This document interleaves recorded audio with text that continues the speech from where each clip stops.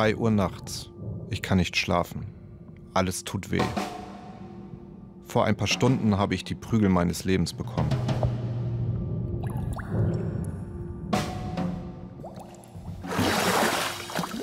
Wie konnte es so weit kommen?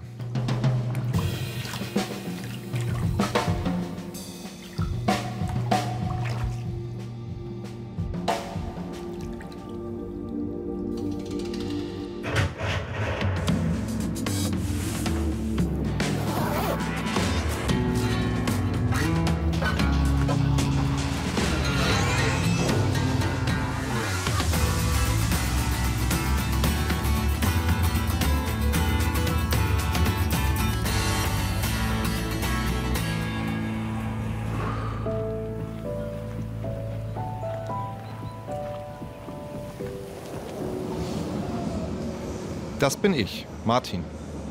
Ich bin wohl das, was man in der Szene einen Fitnessboxer nennt. Das unterste Level im Boxsport.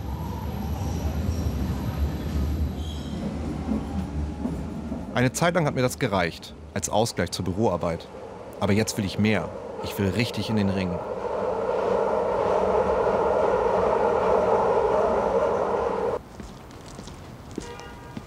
Boxtempel in Berlin-Weißensee. In sieben Tagen will ich hier das Kämpfen lernen und am Ende gegen einen echten Gegner antreten.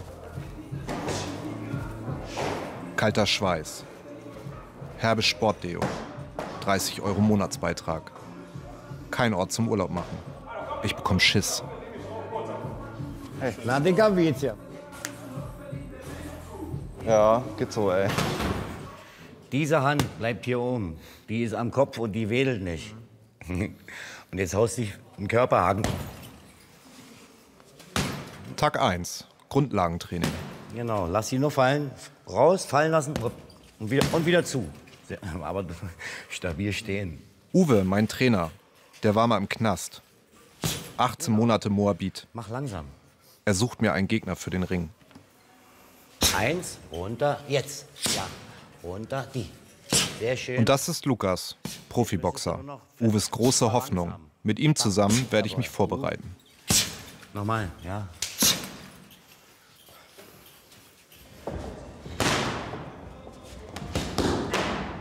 Uwe und Lukas trainieren jeden Tag. Ihr Ziel? Weltmeister werden. Und dann, Zitat Uwe, Eierschaukeln.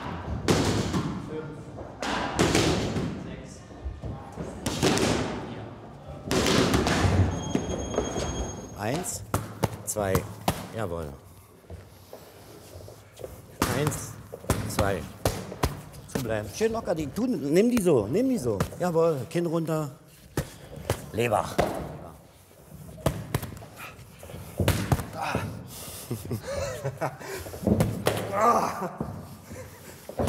Mhm.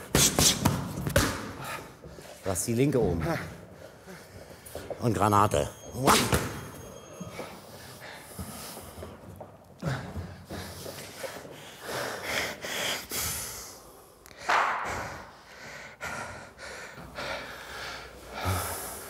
Mich gerade mega peinlich.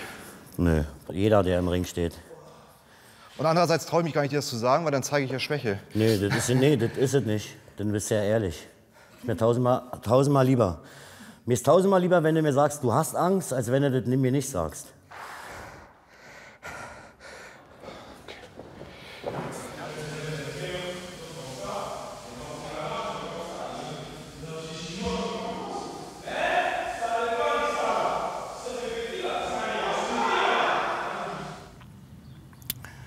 Eins, zwei. Zwei Zähne rausgeschlagen haben sie mir hier. Da habe ich einen Kö ins Gesicht gekriegt. Okay, das war nicht während des Boxkampfs. nee, nee, das ist Straße. Also meine Kämpfe, die meisten habe ich auf der Straße, nicht im Ring. Wieso hast du da einen Köhl ins Gesicht gekriegt? Beim Billardspielen, Auseinandersetzung.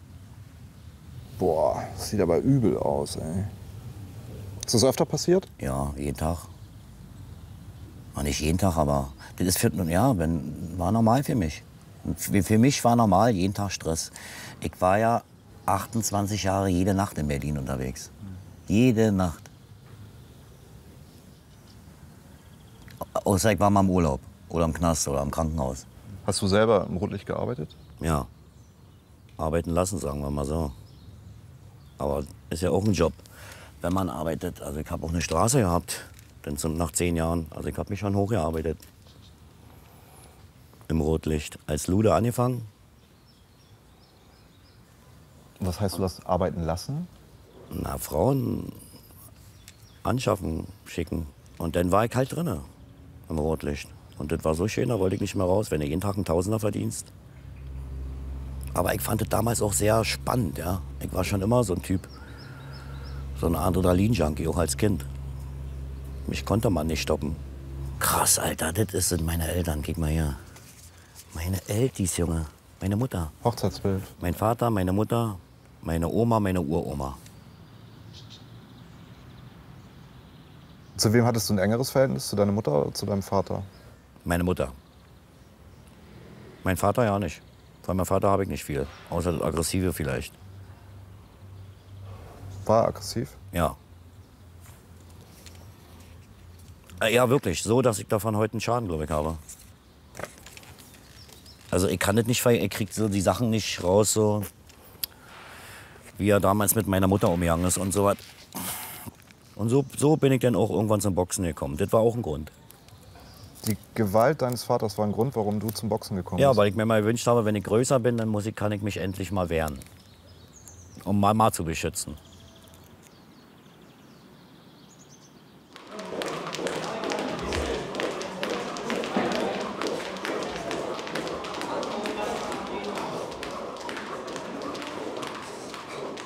Fast alle Geschichten aus Uwes Leben haben etwas Tragisches. Gewalt ist immer Thema.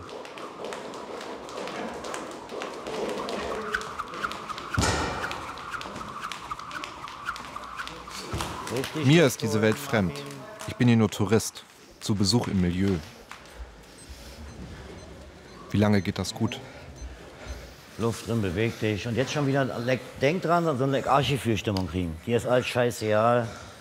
Auch wenn du jetzt tot umfällst, ist dir scheißegal. Sterben tust du so oder so. Viel geiler am Ring zu sterben, weißt du, als du im Krankenhaus.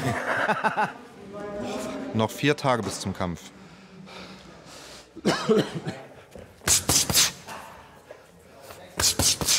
Merkst du, dass ich drücke? Jetzt sind drei. Geh vorwärts. Geh vorwärts. Vorwärts. Eins, zwei. Eins, zwei.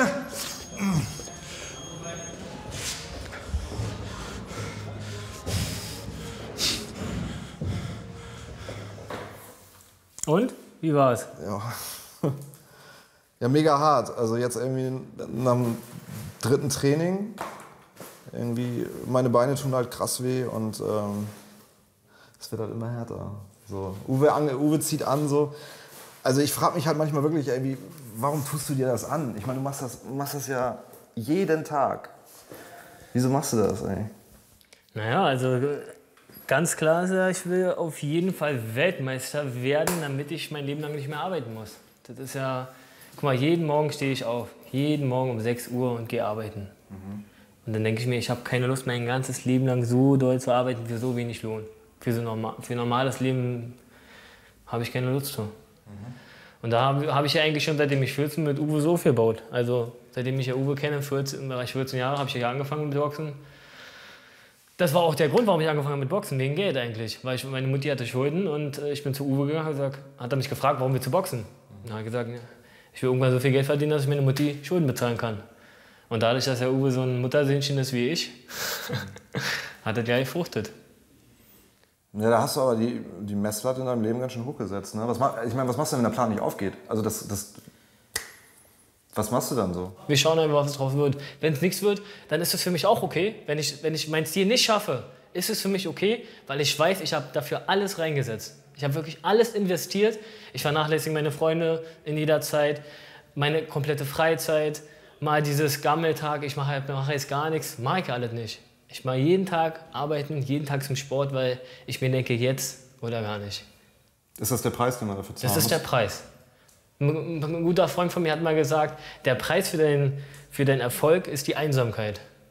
Da hat er zum Teil sogar recht, weil man viel alleine ist. Obwohl ich ja mit Uwe zusammen ganz eng bin und ich bin ja auch nie alleine, theoretisch gesehen jetzt, ja.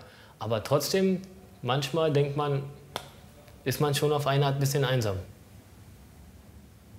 Aber das ist normal, so ist das Leben, ne? The colors of the rainbow, so pretty in the sky. Spielbank Berlin, Boxskala All-In. Kräftemessen in verschiedenen Gewichtsklassen. Auf diesem Level müssen sich die Boxer erst einmal reinkaufen. Erstmal überhaupt stattfinden in der Szene. Gesehen werden.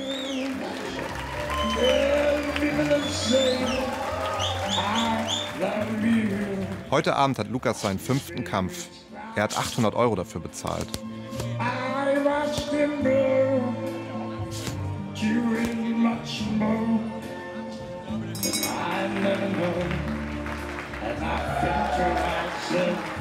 Wenn Lukas heute gewinnt, steigt er in der Rangliste auf, damit er irgendwann nicht mehr bezahlen muss, sondern kassiert.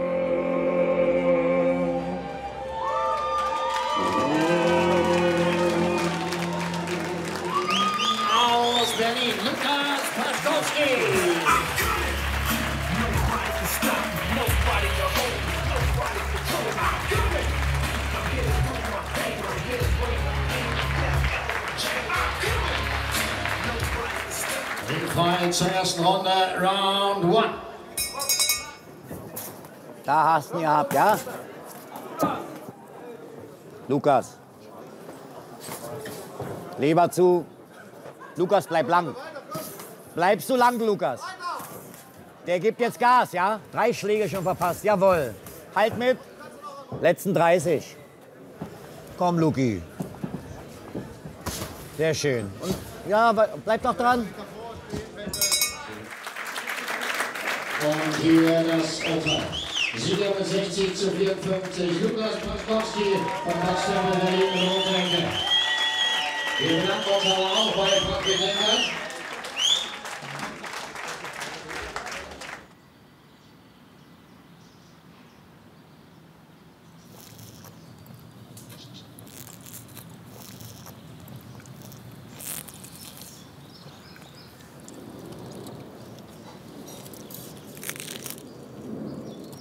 Beim Kampf in der, in der Spielbank habe ich deine Tattoos gesehen irgendwie. Was haben die für eine Bedeutung? Welche meinst du jetzt direkt? Wahrscheinlich den Adler. Ich meine den Reichsadler, ja. Der hat mich ein bisschen irritiert, ehrlich gesagt. Warum? Ja, also für, für mich ist das ein Nazi-Tattoo. Nee. Nee. Also. Finde ich nicht, weil äh, der provoziert, ist ein provokanter Adler. Echt, du willst provozieren mit ja, dem Reichsadler? auf jeden Fall. Ich mag im Mittelpunkt zu stehen. Und ich finde es halt interessant immer, wenn man mich erstmal sieht und den Adler sieht, denkt man oh, gleich, oh Gott, das ist ein Assi. Das ist auf jeden Fall ein Nazi. Ja, ich, hab, ich dachte erst in dem Moment, so, boah, okay, könnte schwierig werden, dass wir mit dem Film mit dir machen, weil ja, wenn du halt ein recht, rechtes Gedankengut hast, so, kann ich das auch nicht vertreten, dann kann ich dich auch irgendwie nicht sympathisch finden. Ja, verstehe ich. Nee, also, äh, das auf gar keinen Fall, weil ähm, ich bin halt, äh, ich habe einen Ziehvater gehabt, mein, äh, kam aus äh, der Elfenbeinküste, aus Abidjan. Da war ich zwei oder drei Jahre alt. Mit dem bin ich halt aufgewachsen. Ne? Deswegen habe ich schon früher gar nicht gesehen, schwarz, weiß, also ich wusste ja nicht, was das ist. Verstehst du nicht? Also, deswegen habe ich auch kein Hakenkreuz, weil ich vertrete ja nicht die Meinung von mit dem Hakenkreuz zusammen mit dieser Verbindung. Das ist ja gar nicht das, was ich denke. Ja, ich, ich finde es trotzdem nicht geil, aber ja. ist halt deine Entscheidung. Ja. So. Also ich finde es auch nicht toll mit dem Adler. Als ich gesehen habe, wo er mit dem Adler angekommen ist zum Training nächsten Tag, da bin ich fast aus der Latschen gekippt. Zumal er sich ja mich als Vorbild genommen hat, ja. mit den Tattoos. Das hat ja klein angefangen. Er hat ja hier das erste Tattoo an den Fingern gehabt. Mhm. Aber wo ich das gesehen habe, dachte ich mir, holy moly, Junge. Wie kriegen wir das weg? Eine Woche später hatte ich auch schon einen Sponsor, der einen Tausender wo wir das Ding wegkriegen. Lukas will das Ding aber behalten. Seine Entscheidung. Rennbahn Hoppegarten. Ein Ausflug in Uwes goldene Zeiten. Also ich habe das Geld gehabt, mir alles zu leisten. Ich konnte mir Pferde kaufen, wie ich wollte. Ich habe mir für 100.000 Euro ein Pferd gekauft.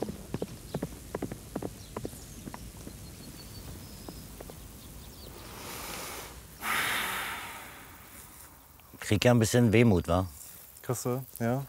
Fehlt dir das doch ein bisschen? Na, ich wüsste ja, ich könnte ja sofort, aber ich habe einfach keine Zeit dafür. Ich muss mir mal die Zeit nehmen. Hm, wie das hier duftet. Mein Glas so halb offen.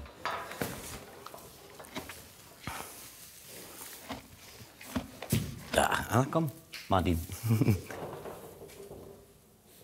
Also auf der Rennbahn, ich, ich weiß nicht wie viel, aber eine Minimum eine halbe Million habe ich hier bestimmt gelassen. Reicht ja nicht. Wofür? Für Pferde? Oder? Ja. Vom Ding bin ich immer weggerannt, von dem Nachtleben. Und dann habe ich hier mein Leben geführt, meinen Traum. Und nachts auf der Straße, damit habe ich mein Geld verdient. Womit ich meinen Traum erfüllen konnte. Ist ja komisch, ja. Wie viel Zeit hast du hier verbracht in der Woche? Jeden Tag. Auch Nächte. Jede freie Minute, die ich hatte, war ich in Hoppegarten hier. Ja. Und abends dann direkt vom Hoppegarten auf die Di Straße? direkt zum Straßenstrich, dann ging, dann ging die Straße los. Also ich, ich war ja auch nie stolz drauf. Das war halt, ich bin da reingerutscht und ich habe halt eine Menge Knete verdient und das war für mich Fakt.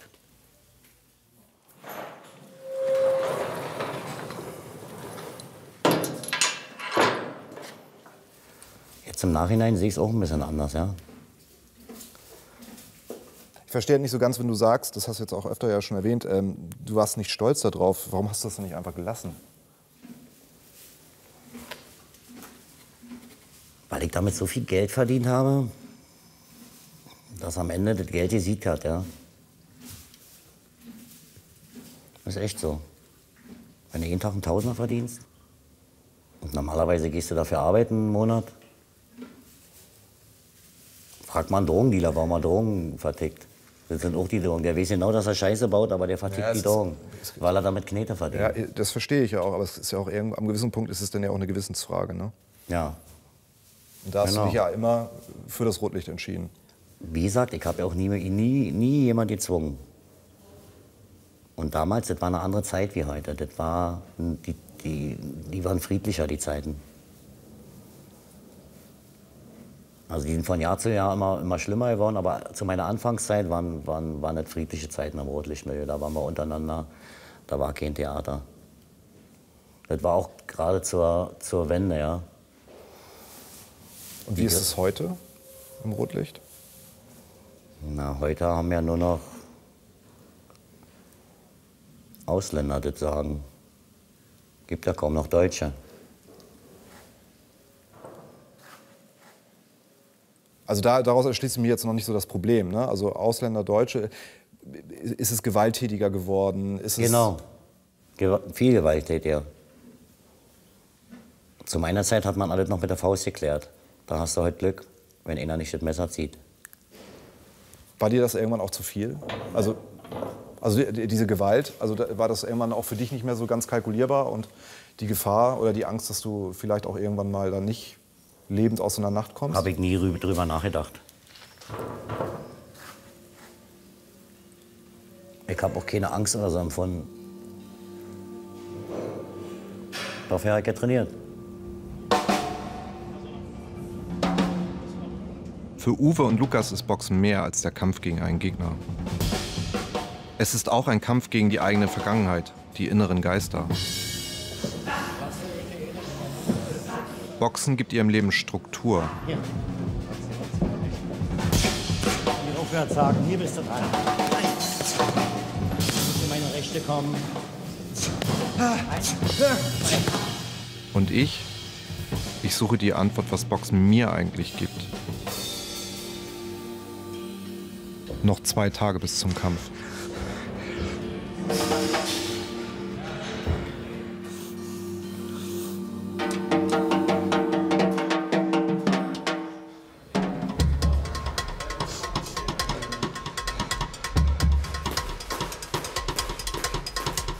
Eins, eins, eins, eins. Und locker, locker, locker. Ganz locker. Mach langsamer. Geh vorwärts. Geh runter. Aber dann merkst du jetzt schon, Martin, wenn du kämpfen solltest, was dich ausbremst, ja? Die Luft.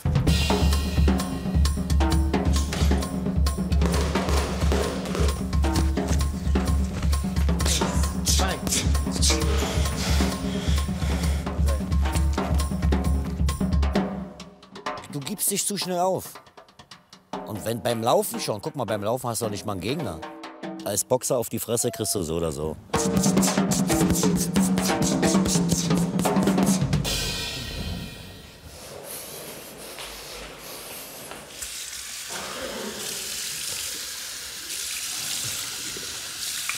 Martin, alles durch? Wir sind noch nicht fertig mit Training.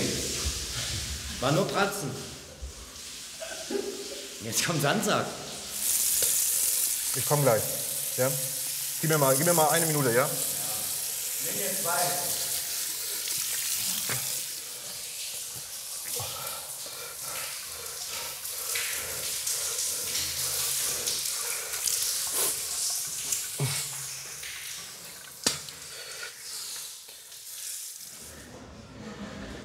Stell dir mal vor, du jetzt kriegst du noch Prügel. Also nach der Woche können wir alle mal in eine Kneipe gehen. Aber ich glaube, mit dem Kämpfen ist echt schwer. Also macht dir deswegen keine Gedanken, aber da ist weit weg vom Kampf. Also würde ich mich da richtig in Gefahr begeben, wenn ich das machen würde? Ja, 100 Pro. Sonst, würde ich, sonst hätte ich dich kämpfen lassen.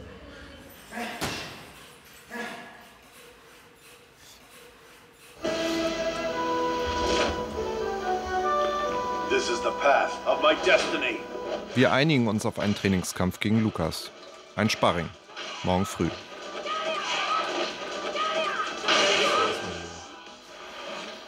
Ich bin ja gerade so ein bisschen enttäuscht, ne? Ich hatte ja mir echt schon erhofft, am Ende der Woche irgendwie mal einen Kampf zu haben, so.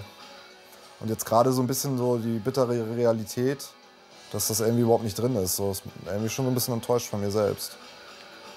Also ich denke eventuell, dass es, äh, dass es normal ist, ja. Dass du dann da ein bisschen enttäuscht bist, weil du ja so eifrig jetzt trainiert hast und das nicht klappt. Final round. Fight. Aber hast du am Anfang dann gedacht, ja, vielleicht wird das ja was so? Also vielleicht wird der Martin ja wirklich am Ende irgendwie einen Kampf machen können? Oder Nee. Nee, nee.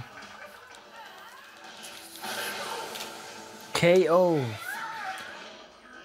Du hast dich auf jeden Fall besser angestellt, als ich gedacht hätte oder gedacht habe. Aber äh, das müsste eigentlich äh, theoretisch gesehen, wenn du ein Kämpfer wärst, dich anspornen, noch mehr zu machen. Aber wir machen ja so ein bisschen Sparring, ne? Ja, Okay. da kann, das ist ja so wie ein Kampf für dich. Da kannst du voll zulangen. Ja? Ja, musst du auch. K.O. Die Welt von Uwe und Lukas kann man zu Fuß ablaufen. 450 Meter vom Boxclub entfernt, die Diskothek Harmonie. Am Wochenende hat Lukas hier einen Nebenjob. Türsteher. Ich verstehe die Stressmacher hier. Ja? Wenn jemand Stress macht, dann sag ich, ey, Digga, ich verstehe dich. Ich verstehe ihn wirklich. Wenn ich betrunken bin, auch Stress. So. Weißt du, das war in meiner Zeit so, habe ich auch gemacht. Und deswegen kann ich mich, glaube ich, gut hineinversetzen. Uwe sicherlich auch. Aber hast du hier schon Stress gehabt? Äh, ja. Ja, aber hält sich alles in Grenzen. Also ich musste hier noch keinen wegkloppen. Wofür auch? Also bringt, bringt mir ja sowieso keine Punkte, wenn ich da einen wegschieße. Aber Ist ja kein Boxring, ne? richtig. Das habe ich ja schon gehabt alles. Hast du schon mal Ärger mit der Polizei? Ja, viel. Ich bin halt verurteilt worden wegen schwerer Körperverletzung, Widerstand gegen der Staatsgewalt und Schwere Körperverletzung. Darf ich dich fragen, was da genau gewesen? ja, da gab es halt leichte Komplikationen, wie jetzt zum Beispiel im Club. Leichte Äh, Komplikationen, schwere Körperverletzung passt ja irgendwie zusammen, ne? Ja, wie gesagt, also, da war ich halt auch besoffen und ja, Aber was hat dich da so von, der, von so Straßenschlägereien so na, weggebracht? das Boxen dann. Mit Uwe zusammen, das Boxen. Ich bin einfach vom Kopf her reifer geworden, ja, also, und habe Gott sei Dank noch die Kurve gekriegt. Ne? Und das habe ich halt parallel noch mit meiner Ausbildung gemacht. Also Gott sei Dank habe ich meine Ausbildung gemacht. Da bin ich so stolz drüber, äh, dass ich sage, ich bin Boxer und habe eine Ausbildung.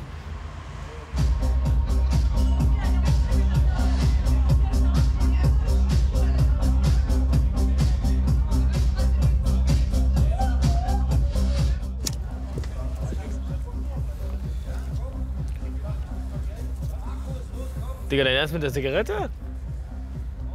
Achso, du meinst wegen Boxen, ne? Ja. Nicht so geil, ne? Eigentlich nicht, ne.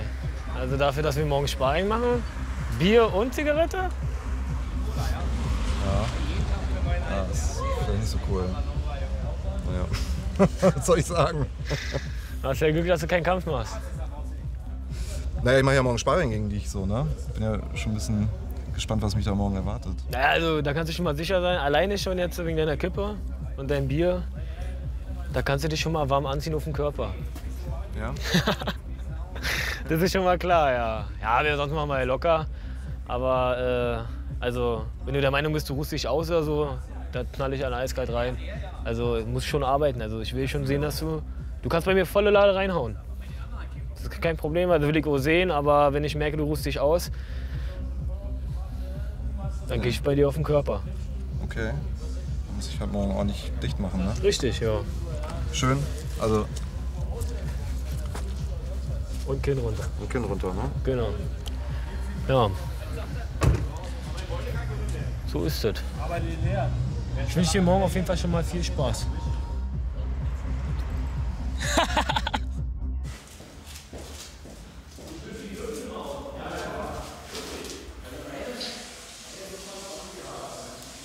Heute bin ich Gast auf meiner eigenen Beerdigung.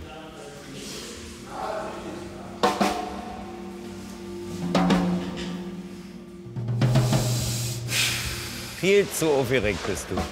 Du musst doch Spaß haben. Ja, stell mal vor, da kommt einer, stell mal vor, du hast einen WM-Kampf und kommst mit so einer Laune darin.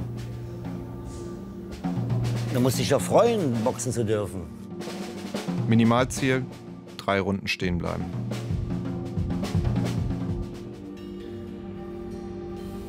Bist bereit? Action.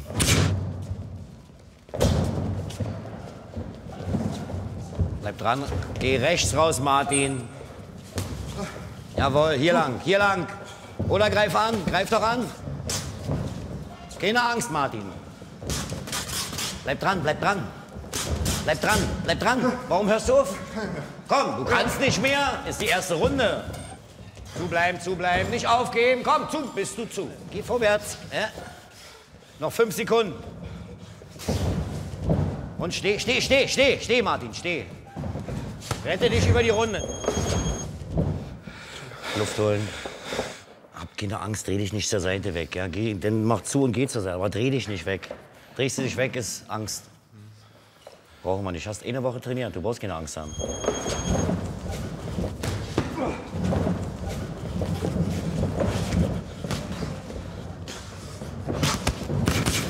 Komm, komm, komm, bleib zu.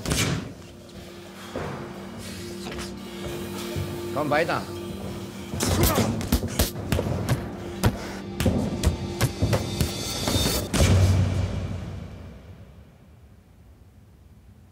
Du hörst erst auf, wenn es klingelt. Weiter!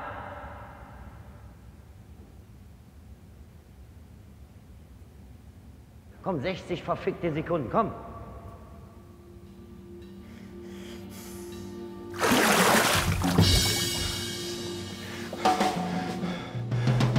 Lasse ich dich nicht nach Hamburg.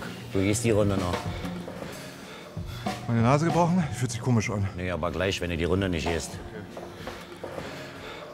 Und vorwärts. Na, vorwärts.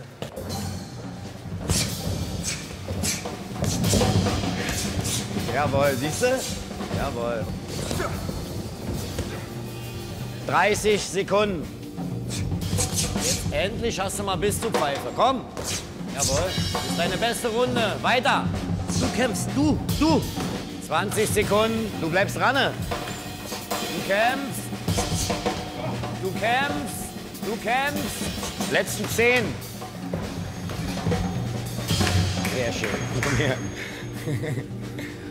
Komm her, komm her, komm her. Und? Hast du geschafft. Hast du geschafft. So verschieden wir auch sind, auf diese eine Sache hier können wir uns einigen. Harter Sport mit klaren Regeln. Außerhalb des Rings, da draußen in der Welt, wird es komplizierter. Für mich ist es hier nur ein Kick, ein blaues Auge, eine gute Geschichte. Für Uwe und Lukas ist Boxen Existenzkampf.